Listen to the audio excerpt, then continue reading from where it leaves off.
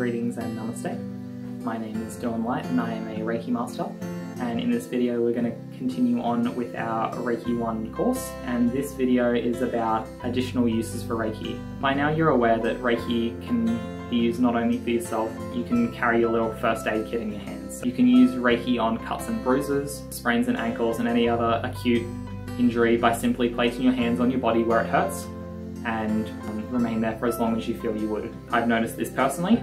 My partner's sister had actually taken a fall and I immediately went and just instinctively placed my hands over there and the pain basically went away after a few minutes. The more you use Reiki in your daily life, the more you will intuitively know how to use it. The list of um, uses is endless. You can assist any energy system, which is everything with Reiki. Many people have treated themselves successfully back to health and vitality. The use of Reiki energy simply to assist themselves and their bodies to maintain well-being and a heightened sense of quality of life. You can treat other people with Reiki and the benefits are many and varied. Animals and plants also gain when you give them energy. Seedings, cut flowers, food, everything benefits from the application of harmonizing energy to Reiki is up to you, if that makes sense. Whether you want to prove yourself that you might be able to recharge your torch battery or give yourself or your pet animal a Reiki treatment is completely up to you. um, always use Reiki with your own discretion Always give Reiki without questioning its usefulness or put restrictions on the possibilities of success. Reiki always works for the highest good of everyone or anything that you allow the energy to come in contact with. So Reiki always works with love and joy and it will bring you love and joy. So we've got to give out to get back.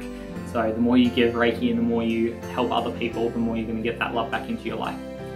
So the following diagram represents a brief sort of overview of what a Reiki treatment can do. I'll put that on the screen now for you to have a little look at. You may want, wish to explain the dynamics of the treatment to your patient. Remember when people ask you what is Reiki, they want to be explained what Reiki can do for them.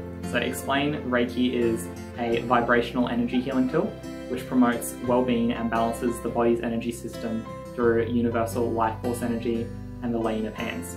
Be brief, you don't have to convince them anyone about Reiki, simply relate your own experiences and how you have benefited through them.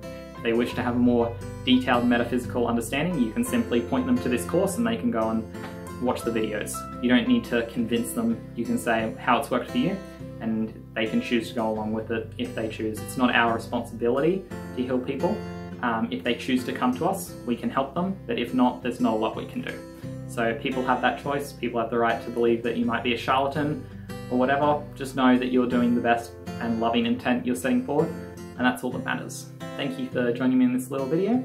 Um, I hope you have enjoyed. Please like, comment and subscribe and we're to finish the final video with explaining what an attunement is and how the attunement works. I wish you light and love and yeah, I'll see you in the next one. Thank you for watching.